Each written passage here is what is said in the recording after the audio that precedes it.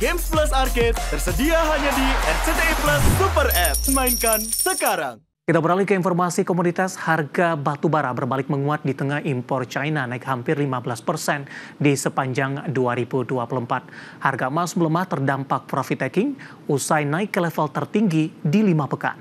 Sementara harga minyak cenderung datar dibayangi pasokan yang melimpah. Harga batu bara acuan dunia berbalik menguat di Kamis waktu setempat di tengah masih minimnya sentimen pasar untuk menopang harga. Berdasarkan data definitif, harga batu bara acuan AS Newcastle untuk kontrak Januari 2025 ditutup menguat 0,38 persen di posisi 133 dolar Amerika per ton. Dalam beberapa hari terakhir, harga batu bara bertahan di level psikologi 130-an dolar Amerika per ton. Penguatan kali ini di tengah impor batu bara dan lignit China naik hampir 15 persen menjadi 490 juta ton dalam 11 bulan pertama tahun ini.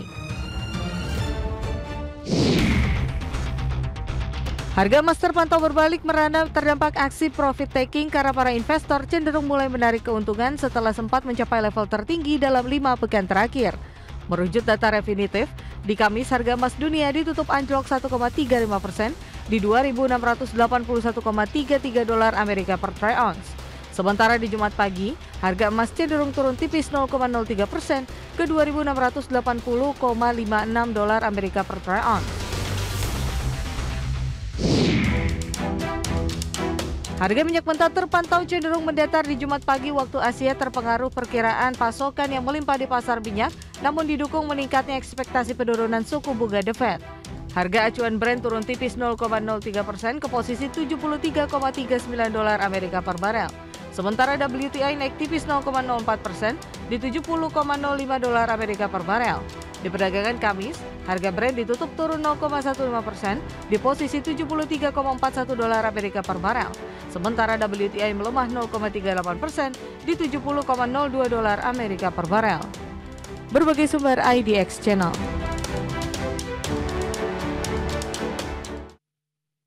Dan seperti apa update terkini pergerakan harga sejumlah komoditas yang berhasil dihimpun oleh tim redaksi kami sampai dengan sore hari ini waktu Indonesia Barat. Dapat Anda saksikan grafis di layar televisi Anda pemirsa.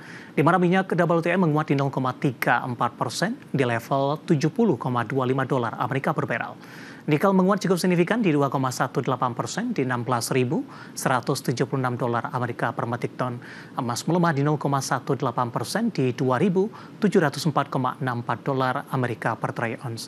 CPO kontrak pengiriman Februari 2025 melemah di 0,69 persen di level 4.887 ringgit Malaysia per tonnya.